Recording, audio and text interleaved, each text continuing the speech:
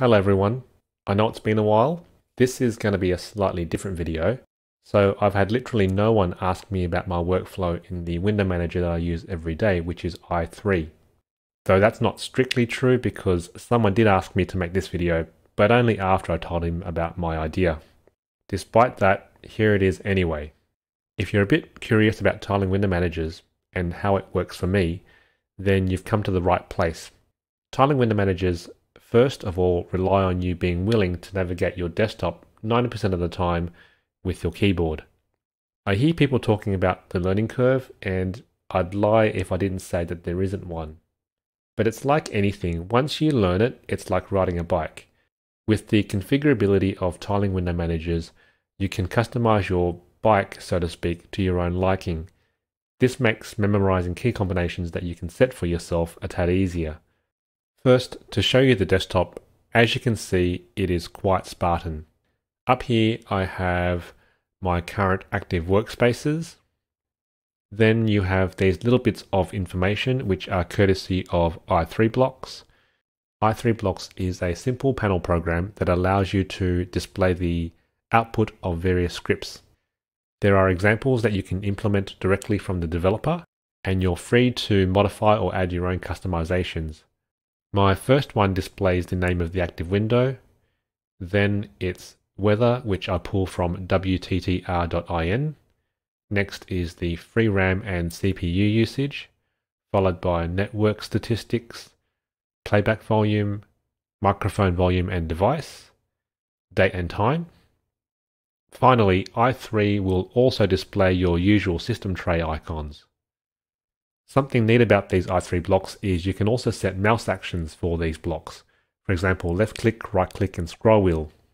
To show you how this works, if I click on my free memory, it should actually open HTOP. There you go. Q to quit. If I scroll up and down my volume, you can actually see the volume changing underneath it. Hope you can see that. And if I left click on my volume, it actually mutes and unmutes. Next thing to look at would be how I launch applications. And there are multiple ways. For example, many of you would be familiar with dmenu. And if I bring that up with super D, you can see across the top here, the panel has been replaced by a menu, which if I start typing, you'll see I can launch Firefox or any other program that I'd like, escape. I've also got options for the XFCE application finder, the simple run command, but by far my favorite and most heavily used is Rofi to launch applications. This is Rofi.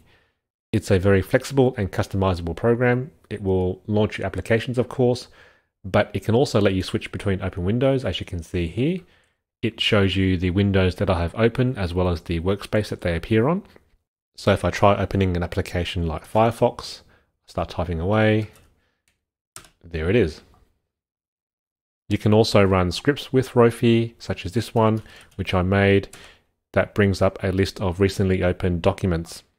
You will also need to get used to managing how to navigate your desktop and open applications. The way that I understand how tiling window managers are meant to be used for your workflow is rather than having all your applications visible on a taskbar as buttons, you're meant to allocate these tasks or windows to various workspaces. For example, in my usual workflow, I have my web browser on workspace 1, my media apps on workspace 2, my chat applications on workspace 3, etc. etc.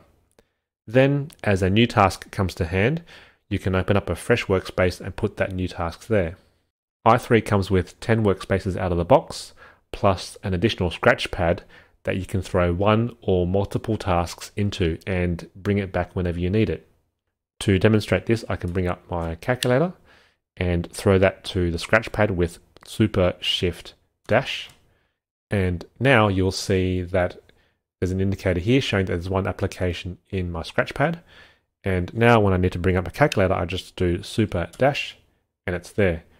Push it away, super dash, and if I was to start doing some sums, push it away, comes back, it's actually still open. You can actually set up your key bindings however you like, but this is just how I set up mine. I can't quite remember the default key bindings for i3 anymore, and it would also depend on the distribution you're using if it's giving you a customized version out of the box. You should always refer back to the i3 config file if you're not sure what the key bindings are. Firstly, to move between workspaces, I use Super, Control, and my arrow keys. And you can't see that right now, but I've moved over to my previous workspace over here on my left, moving back to the one that you're looking at. To jump to a specific workspace, I can use super and a number. So if I jump to 3 or 2 or 5 and back to 2, which is the one you're seeing now. Similarly, you can move between open applications. So if I use my super and arrow keys, you'll be able to see the focus switching between Firefox here on the right and the image viewer on my left. Or of course I can use my mouse if that tickles your fancy. I can also tile my applications either horizontally, which I'm doing now, or switch to vertically. And within that, I can still open more applications too. So I can do another one vertically, which is my terminal. And I can switch to horizontal tiling with the next application that I open up by pressing Super H. There you go. And switching back to vertical, it can get quite complicated pretty quickly. As you get a little bit more advanced into i3, you'll realize that applications can be tiled in a tree-like fashion. So you can sort of containerize your tiling in different ways, as shown by the picture here from the i3 website. Next, I'll show you how to move windows around your current workspace, but let me just clear out a few of these ones to make things a little bit more simpler, and I'll move back to a horizontal tiling there. So to move windows within your current workspace, I can do it with super shift and left and right arrows again. You'll see my windows have switched over and with the image viewer highlighted still, I can go super shift left arrow, move it back to the left. If I wanted to move my Firefox around, I'll switch focus to Firefox and hold super and shift and move it around. And similarly, I can do it in a vertical fashion too.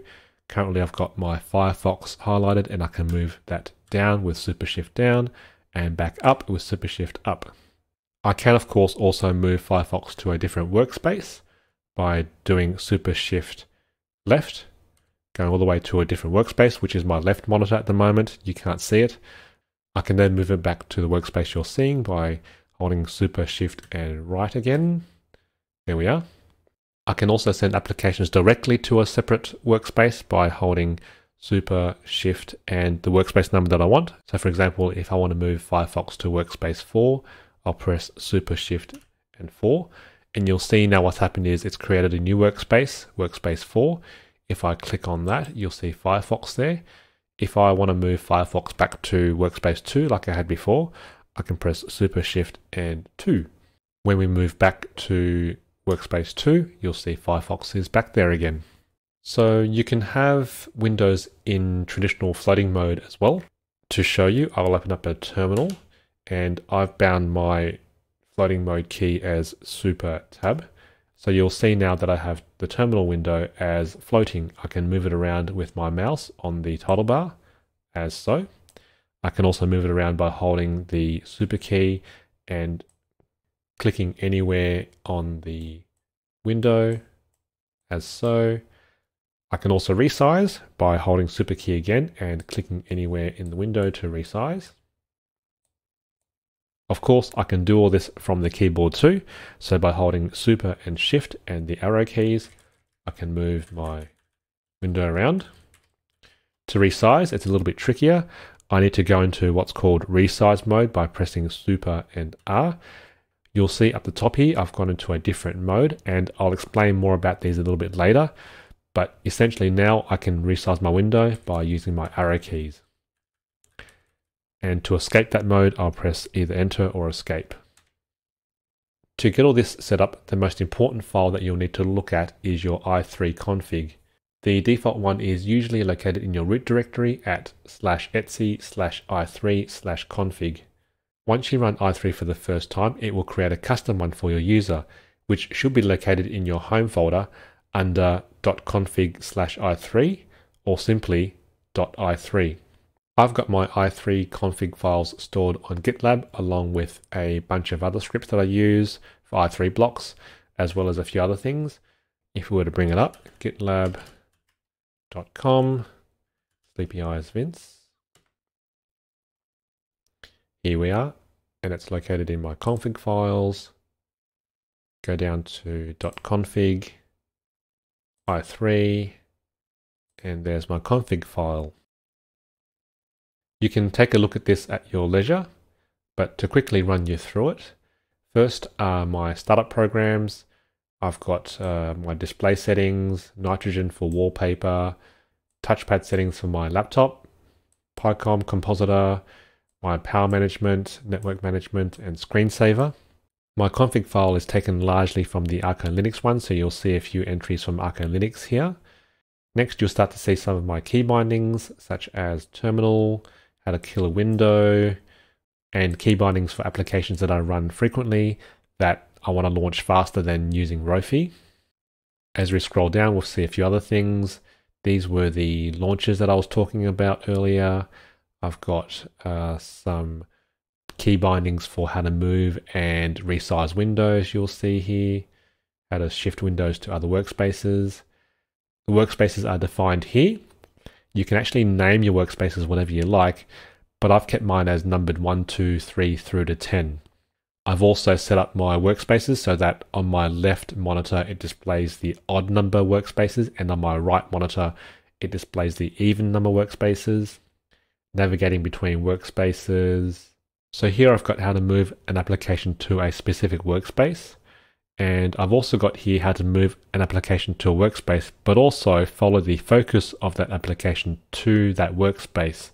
So that if I was to move an application just simply through the above method here, I would have to then manually move to that workspace. Whereas down here with this follow up command, it's automatic. Down here is the section where I talked about with the scratch pad. And here is where it starts to get interesting. Here we start to see some of the modes I was mentioning before. This is an interesting feature of i3, which is that you can actually call up different key binding modes. They're essentially a separate layer of key bindings on top of the main ones outlined earlier in your config. For example, this shutdown menu mode is used by a lot of distributions that ship with i3 to control logout, power off, and suspend. What happens if I was to bring up this mode by pressing super escape? It brings up my options. I can lock the screen, log out with E, S to suspend, R to reboot, or P to shut down. If I don't want to do any of those things, I can simply hit escape again to get out of that mode. This then returns me to my usual key bindings. I've also set up similar modes for resizing windows, changing the brightness on my laptop screen, changing the volume. This one's interesting. If I bring that up by holding Super Alt V, you'll see that I can now directly change my volume to 20%. Just keep a watch up here. Or change it all the way up to 100% by pressing 0. Or if I'm not sure what volume I want, I can just get into that mode and I've set it up so that if I use arrow up or arrow down, it'll actually change my volume by 5% increments hit enter or escape to get out of that. Underneath that, you can also see how I can define various applications to open up with various different layouts. So of course you've got your default tiling layout, but you can also set applications to open up as floating, like I've got here, or tabbed. Oh, there's something I forgot to show you earlier. If I open up a few more windows, like so, other than the tiling layout, there are actually other layouts such as tabbed. So if I press Super W, you'll see that my terminal goes full screen, but in actual fact, Firefox is actually still full screen behind it. But instead of being tiled, the windows are actually represented by tabs, just like in your browser. See that? And I can mouse and click, or I can use my super and left or right arrows to change focus like before. A third layout is actually stacking. So to change to that, I press Super S. And instead of being tabbed, your open applications are actually stacked, but still maximized when you click on them. Or of course, super and arrow keys. Now to switch back to my tiling layout, there you go. I'll quit out of the terminal. So yeah, this section can allow you to define how windows are opened by default. It depends on the application you're using whether it's best open up in various layouts. Next I've got bindings for my media keys on my keyboard. I've got bindings for the global microphone mute that I made a previous video about. This section here opens up my i3 bar and i3 blocks when the system logs in. And finally here you can set the color scheme. Just as a quick side note, if you use i3 gaps, which is a fork of i3 as I do, you have built-in functionality to have transparency when setting the colors in your theme, which is actually denoted by the last two digits of this RGBA color scheme naming. The A, I think, standing for alpha. i3 gaps will, of course, also allow you to set gaps between your tiled windows. However, I don't really use that functionality. So that's my brief rundown of how I use i3 for my workflow. I hope that it may have piqued your curiosity a bit, maybe about i3 and tiling window managers in general. Maybe not. Maybe it's taking some of the mystery and confusion away or added to it. I don't know. The key takeaway messages are that yes, there is a bit of a learning curve when transitioning to a tiling window manager, but to make the process easier, you can customize your key bindings to what makes sense for you. There are going to be some habits from using a traditional desktop environment that you'll need to overcome, like reaching for close and minimize buttons with your mouse, or launching programs from a desktop shortcut, panel shortcut, or menu, or learning to switch tasks using your keyboard or a combination of mouse and keyboard. Learning how to use workspaces effectively is also key to enjoying your experience in the tiling window manager. Thank you all for making it through to the end of this video that no one asked for. If you want to be informed of future content, please consider subscribing to this channel. As always, if you have any comments, questions, or suggestions, leave them down below for me and I will have a look at them when time permits. Bye bye for now.